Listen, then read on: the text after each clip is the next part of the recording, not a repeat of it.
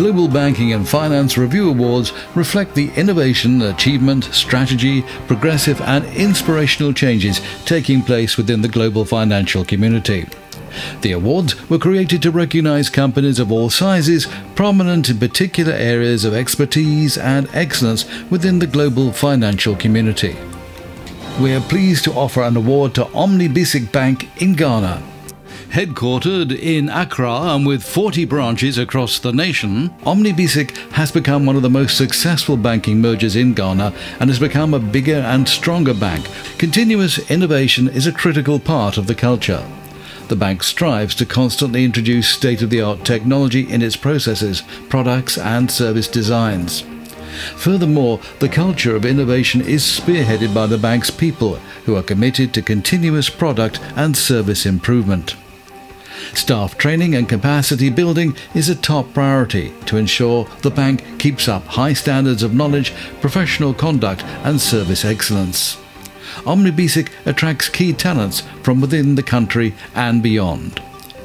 Global Banking is glad to award OmniBSIC Fastest Growing Corporate Bank 2023. We were pleased to welcome Managing Director Daniel Asiedu to London to officially receive the awards, and later he spoke to Glenn Thompson about the bank's success and plans for the future. Daniel Asiedu, Managing Director of Omni BSIC Bank Ghana Limited. Welcome to our studios here in London. Nice to see you and congratulations on the award. Uh, Omni BSIC Bank's recognition as the fastest growing corporate bank in Ghana in 2023 is a notable achievement, as we can see by the award. Can you share with us the key strategies and decisions that fueled the growth, uh, especially focusing on how the merger between Omni Bank and Sahel Sahara Bank catalysed this success? Thank you very much, and uh, it's a pleasure for me to be here. Uh, I'm excited about it. Uh, thank you also for the congratulatory message as well. Um, yes, um, we are excited that we are the fastest growing bank in Ghana, and, and this growth is actually evidenced by how our growth has been phenomenal in the last um, one year, especially. If you look at our profitability growth, it's, uh, about uh, year on year, 2022 compared to 2023 about 217% growth. Uh, balance sheet size in terms of total asset has grown by about 86%. Deposits grew by about 93%. Uh, return on equity, 27, 26% thereabout. Uh, investment, huge investment in, in liquid assets. And so if you look at the banking industry in Ghana, certainly we are the fastest growing bank. And again, these numbers have um, made other um, organizations to recognize us as, as the best bank in Ghana. And so we are quite excited about it. And this has come about because of the way we've gone about doing business in Ghana.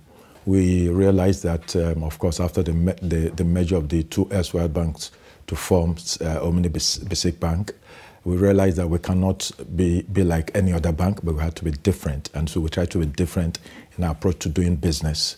Uh, we felt that customers were tired of the the old ways of doing banking. So we try to be innovative and creative.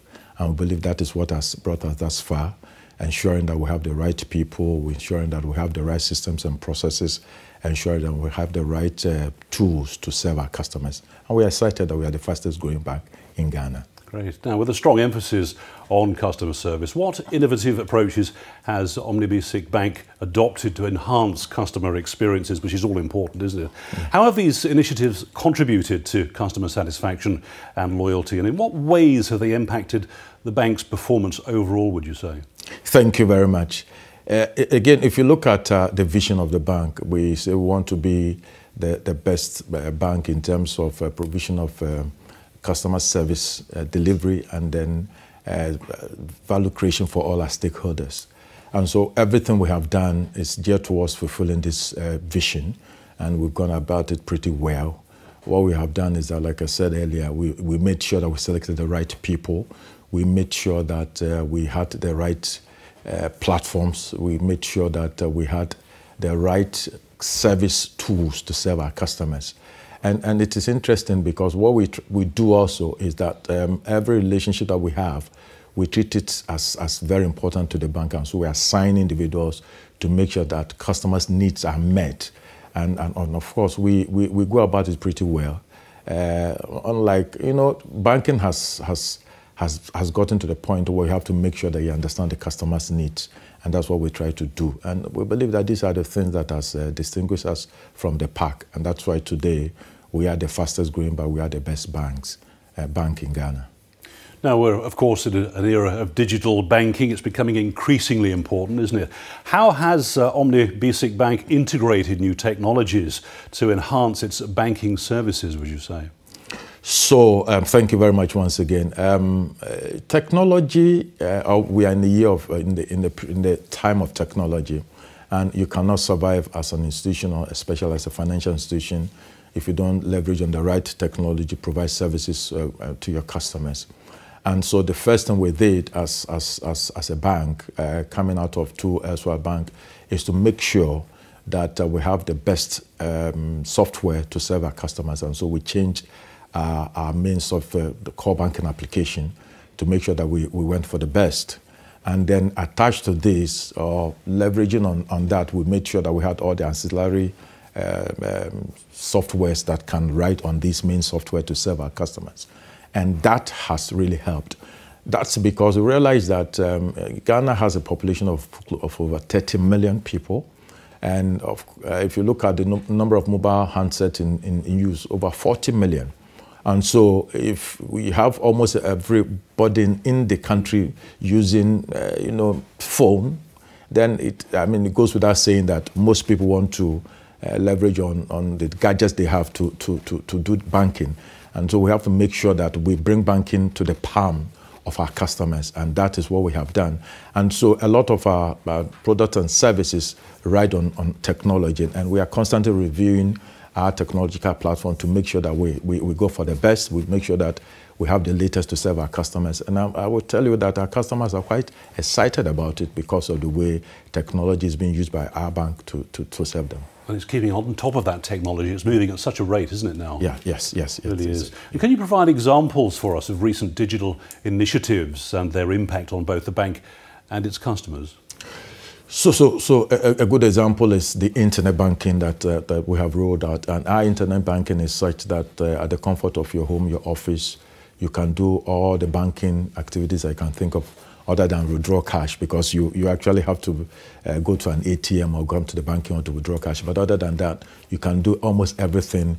And, and I think our customers are excited about it. That's because if we, customers can use the internet platform to do banking, then it saves you the, the time and the energy of having to drive um, down to a, a, branch of the bank to do your business. It saves you the time of having to, you know, move all over the place to transact a business.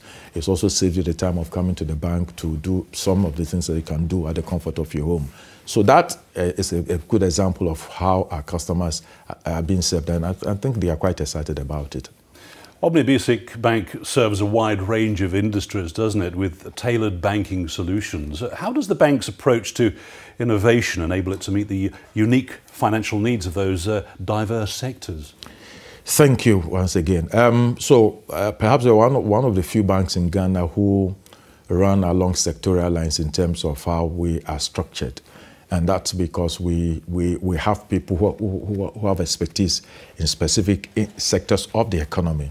And so if you come to our bank, you will see that in the corporate banking space, we still have telecoms. Um, um, uh, we have um, individuals who specialize in the telecom areas. We have individuals who specialize in oil and gas areas, and etc. etc. Uh, what that does is that it, make, it makes them understand the sectors where the, the, the, we do banking. And so, if you bring specific um, if you bring specific needs to the bank, these are people who speak the language of your sector.